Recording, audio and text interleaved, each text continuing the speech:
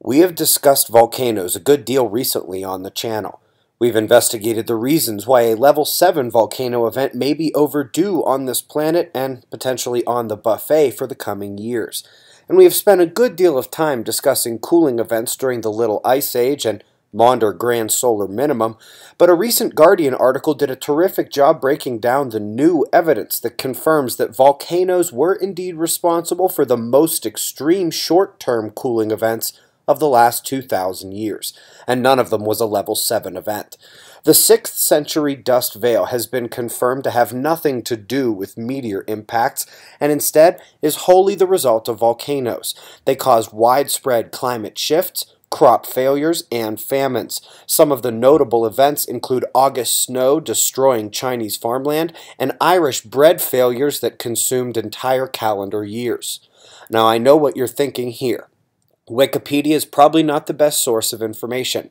However, at times it can be a terrific source of well-cited information and really isn't the worst place to begin looking for peer-reviewed citations.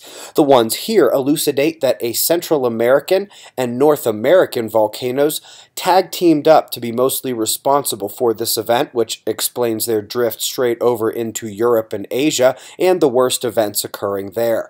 It is notable that when looking at solar activity during this period, we see fairly tame grand minima, but during a period of time when the maxima were tame as well. There may have been an excess cosmic ray period during that time.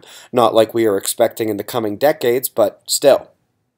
Now, the critical element today is the recognition that it was not an exogenous triggered event like a meteor or comet back in the 6th century.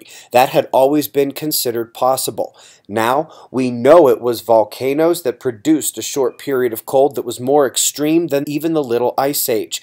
Had it been a level 7 event in the mix, it could have pushed Europe and eastern regions over the edge. We have seen famines kill millions during the Maunder period, and Sadly, the data on this previous period during the Dark Ages is slightly less robust for reasons you can probably infer.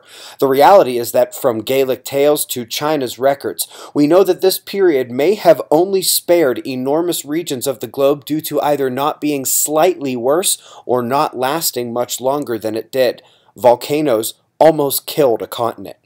The volcano story ties into the global electric circuit, cosmic rays, and climate change, much of which can be learned about on our homepage at suspiciousobservers.org. Scrolling down, a lot of information tying things together in the big picture.